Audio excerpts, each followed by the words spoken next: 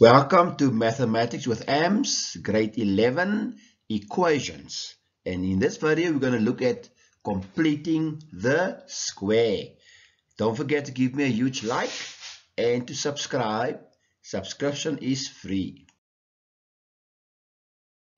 Some important theory first.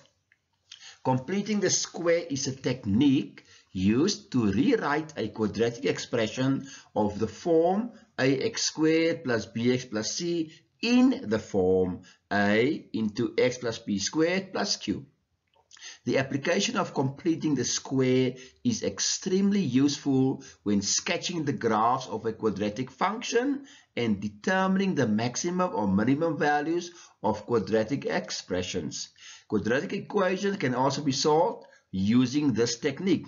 However, before discussing the technique of completing the square, it is necessary to first deal with the concept of quadratic expressions, which are perfect squares. If the square root of a number works out to be a rational number, then that number is a perfect square. For example, the numbers 1, 4, 9, 16, 25, 36, etc. are all perfect squares since the square root of each number is a rational number.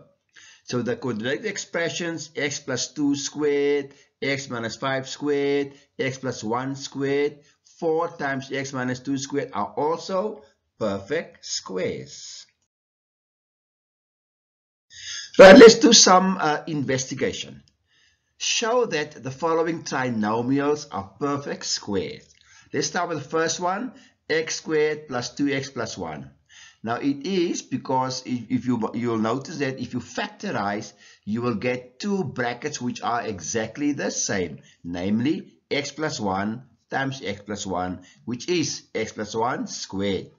Number 2, x squared minus 6x plus 9 Again, if you factorize, you'll notice you get the very same brackets. x minus 3 times x minus 3, which is x minus 3 squared. And then the third one, x squared plus 8x plus 16, the same thing here. If you factorize, you'll notice the two brackets are the same. So therefore, x plus 4 squared. So determine the value of c, that is the last term or the so-called constant term, in each of the following quadratic expressions if the expressions are perfect squares. So now if they are perfect squares, we look at A, then x squared plus 4x plus c, then that c is normally, now take note, a half times 4. 4 is that uh, a coefficient of the middle term. So it's a half times 4 and you square all of that.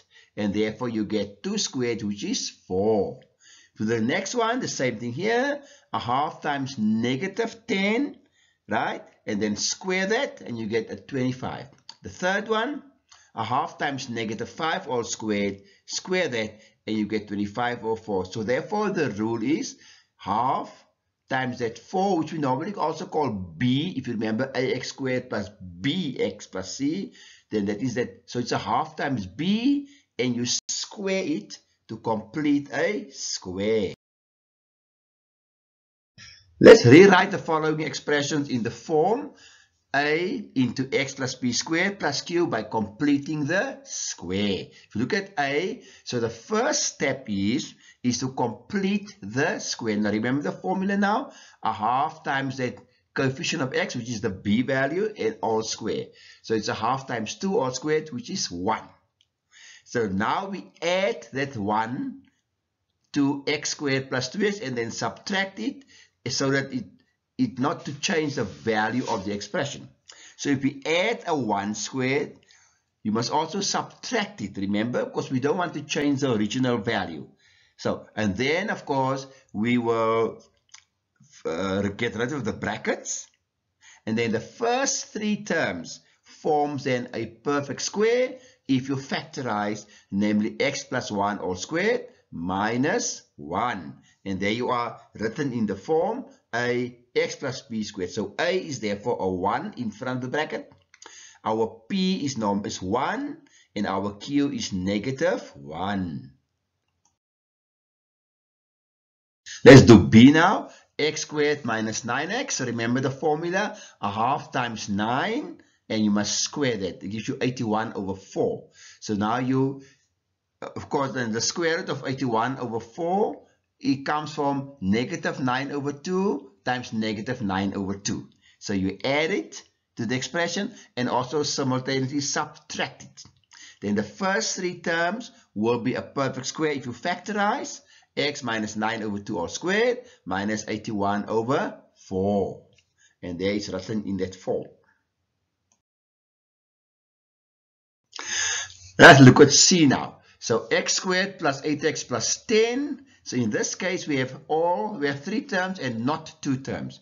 When we are completing the square, we will only consider the first two terms and work for them, while the last term will just run along. So remember now, you must first put 10 one side. And just but don't throw it away. You need to add 10 so we only going to look at x squared plus 8x and complete the square. So half times 8 all squared gives you 16 so you again add 4 squared and subtract 4 squared. But don't remember there's still plus 10 then the first three terms will be x plus 4 all squared. And now we can say negative 16 plus 10 which is negative 6 Right, and there we have a little exercise which you can work on with the memo below. So please work through each one and then check whether you can get exactly the same answers. Right, so I hope you found this video useful. So this is uh, Ahmed Suleiman with Mathematics for AMS.